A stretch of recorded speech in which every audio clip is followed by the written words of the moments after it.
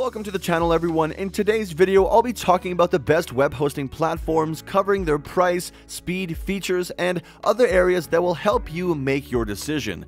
Fortunately, when talking about the top of the line web hosting platforms, we don't need to look any further than Bluehost and Hostinger. However, a key difference between them is that Hostinger is more beginner friendly with their hPanel and Zyro website builder, while Bluehost uses WordPress integration to host their sites, which requires a bit more technical knowledge. But they both provide three hosting packages, of which two are the same, that being shared web hosting and VPS hosting, and the others being cloud hosting for Hostinger and dedicated hosting hosting on Bluehost. I also found the best available deals for both Hostinger and Bluehost and put them in the description below, giving you guys site-wide discounts and helping you get started with whichever one you choose. Alright, so the shared web hosting is the best option for beginners, regardless of the platform you choose, since they're just cheaper. The reason for the low price is because shared web hosting is stored on a shared server, so resources are limited and providers lower the price.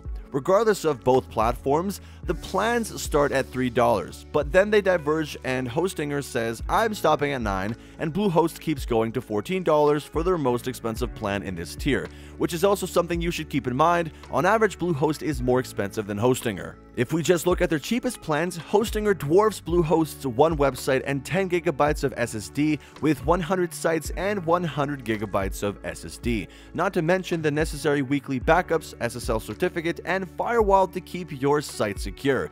Even Bluehost's most expensive tier struggles to come close to that. You should also know that both offer cheaper prices if you opt for a long-term plan. For Bluehost shared web hosting, you could save $145 when you pick the 3-year plan as opposed to the 12-month one where you'd be spending $323. And if you end up not liking it, then the refund policy includes 30 days on all plans excluding the domain registration fees. Hostinger is more flexible on term however, as you can choose to pay monthly, annually, as well as every 2 to 4 years. The longer it is, the less you pay over the course of that period. The refund policy, however, is more specific on what they won't refund, such as domain name renewals or VPS licenses, but when it comes to plans, all of them are refundable within 30 days. Now, if you want something that also shares a server, but you get your own separate section of that server with more dedicated resources, then VPS hosting is a better choice.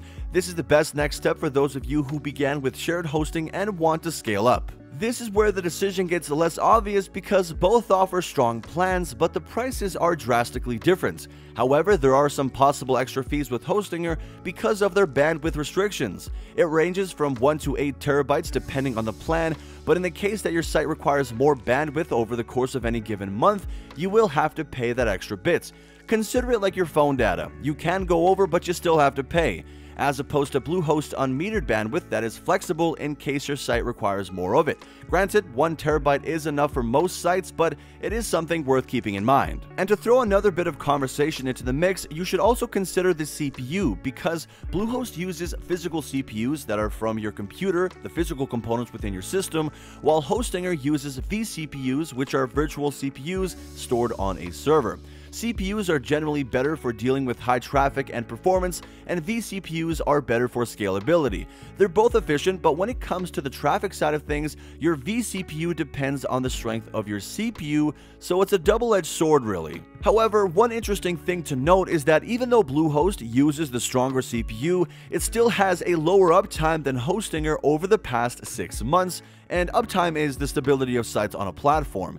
And in that time, Hostinger has maintained 100% five times, while Bluehost has not done it once. So, in terms of features, I still give the edge to Bluehost for VPS hosting, but all those features don't count for nothing if your site is down.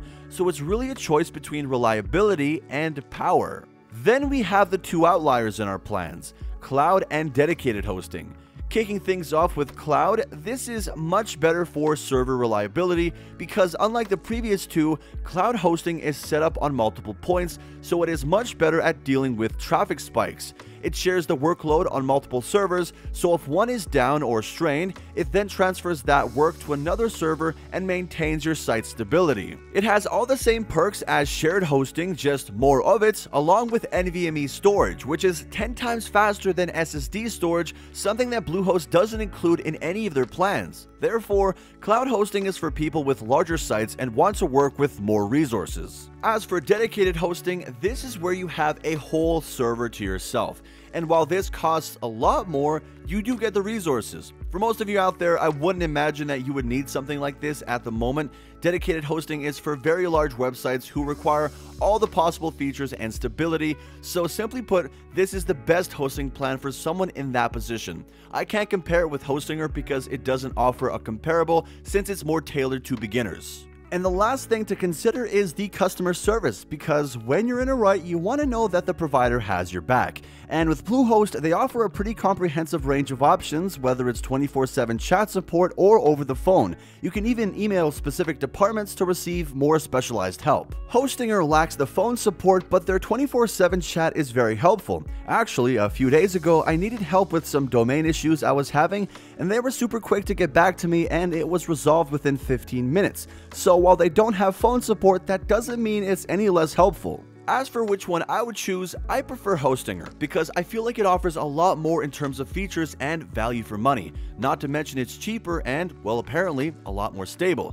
Granted, Bluehost is stronger in terms of VPS, but Hostinger's optimization makes it so that you can get to work on your site and hosting much sooner, and for the majority of people, they won't need to scale up right away, so the strength of Bluehost's offering isn't exactly necessary if your site doesn't absolutely need it, especially if you're a beginner. Being forced to learn WordPress right away can be challenging.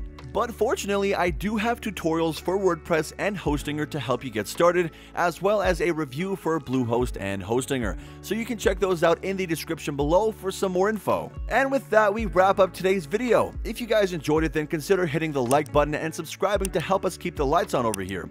If you have any further questions for me, then don't hesitate to ask them down below.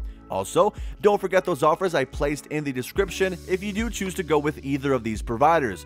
At any rate, thank you so much for watching, I really appreciate it, and until next time, take care.